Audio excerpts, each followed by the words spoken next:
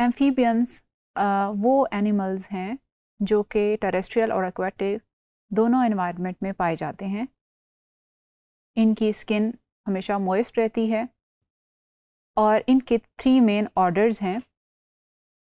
Order caudata order anura and order gymnophiona order caudata में salamanders आ, आ जाते हैं।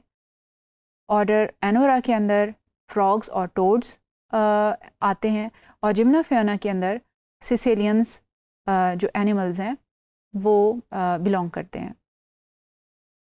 जब हम इसकी जनरल कैरेक्टरिस्टिक्स के बारे में बात करते हैं तो एम्फीबियंस जनरल बेसिस पर ये टेरेस्ट्रियल और एक्वेटिक दोनों एनवायरनमेंट में एडजस्ट करते हैं, अडाप्ट किए हुए होते हैं। इनकी एवोल्यूशन इस तरह से हो चुकी होती है कि दोनों इन्वायरमेंट में ये पाए जाते हैं।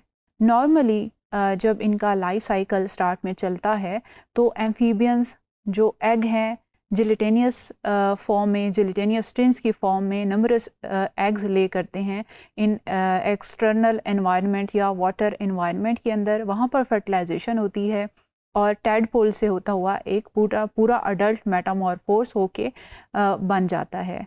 सो so, जब वो लावल स्टेज पे होता है तो एक्वेटिक इन्वायरमेंट में होता है लेकिन जब वो अडल्ट स्टेज पे एंटर होता है या अडल्ट स्टेज पे शिफ्ट होता है तो उस टाइम पर ये टेरेस्ट्रियल इन्वायरमेंट में इजीली जा सकता है।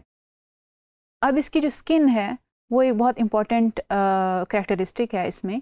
स्किन पर म्यूकॉइड सिक्रीशन सेक्रीट आउट करती हैं पूरी बॉडी के ऊपर ग्लैंड्स बने हुए होते हैं जो कि सेक्रीशन सेक्रीट आउट करते हैं और इसकी बॉडी को मॉइस्ट रखते हैं। इन एनिमल्स में इस मॉइस्चर की वजह से जो स्किन की थ्रू रेस्पायरेशन है, वो ज़्यादा ईजीली हो सकती है। इनकी स्किन यूजली स्मूथ होती है और पिगमेंटेड होती है। पिगमेंटेशन इनमें जो क्रोमेटोफोर्स हैं, उनकी वजह से होती है। जो एम्फीबियंस हैं, वो वार्म ब्लड कोल्ड ब्लडेड होते हैं। यानी कि they cannot regulate their body temperature बाहर का टेम्परेचर जब फ्लक्चुएट होता है तो इनकी बॉडी का टेम्परेचर भी फ्लक्चुएट हो जाता है। सो दैट्स वाई वो एक्टोथर्मिक होते हैं या कोल्ड ब्लडेड हैं।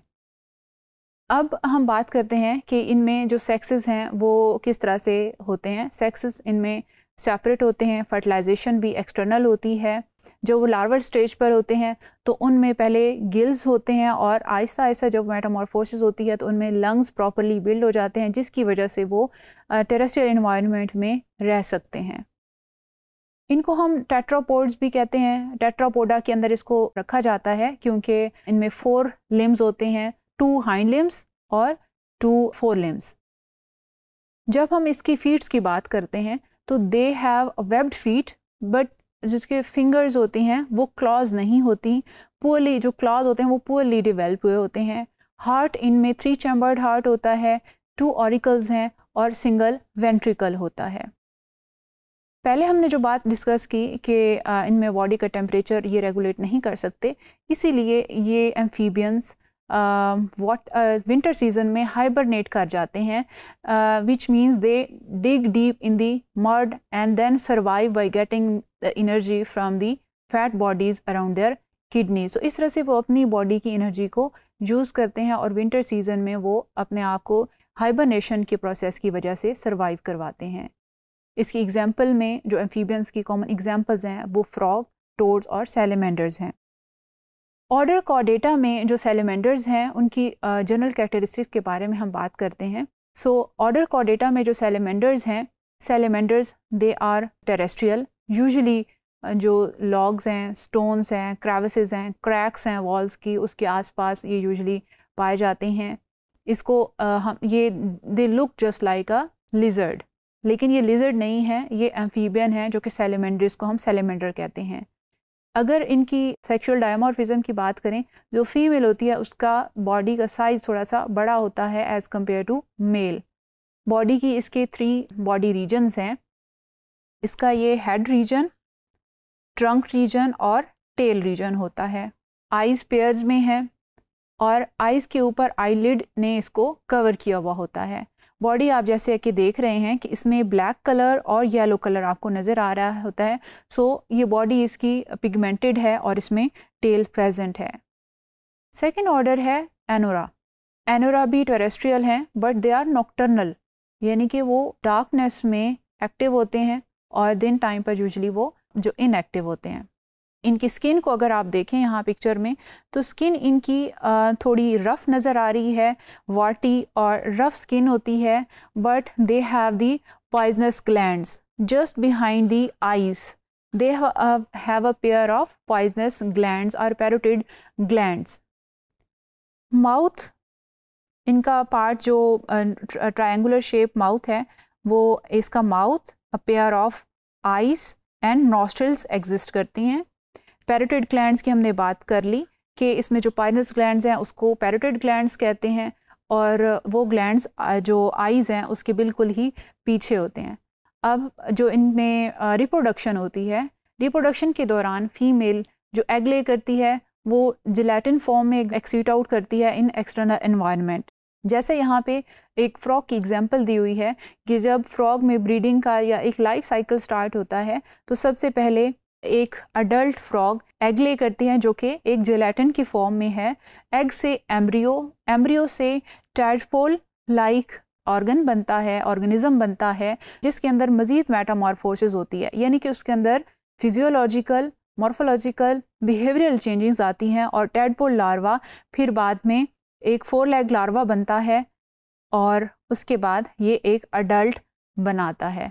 तो इस तरह से इसकी जो टेल है वो भी एंड पर डिसइंटीग्रेट या रीअब्जॉर्ब हो जाती है और ये टेल लेस हो जाती हैं। तो इस तरह से ये अपने साइकिल को मेंटेन करते हैं। अगर हम यहाँ पर पिक्चर को आप अगर देखें तो इसमें ये फ्रॉग टोड और सेलेमेंडर की एक साथ में ही एग्ज़ाम्पल दी हुई है so that students can understand and can differentiate between three two orders अगर आप इसकी फीट्स देखें तो इसमें फिंगर्स हैं बट फिंगर्स के साथ जो क्लॉज बने हुए हैं फिंगर्स की वजह से, वो पुअरली डिवेल्प्ड हैं। प्रॉपरली फिंगर्स के दरमियान में जो स्पेसेस हैं, वो उसमें क्लॉ नहीं बन रहा। अब इस एलिमेंटर में भी same these are the finger like projections अगर हम फ्रॉक की बात करें तो इसमें जो हाइंड लेग्स हैं, इसको हाइंड लेग्स जो हैं, इसकी वो लॉन्ग होती हैं, जिसकी वजह से इसको जंपिंग में आसानी होती है। जो फोर लिम्स हैं या फोर लेग्स हैं फोर लिम्स इसको हम कहेंगे फोर लिम्स वो शॉर्ट होती हैं। तो इस तरह से ये दो ऑर्डर्स के बारे में हमने डिस्कस किया है।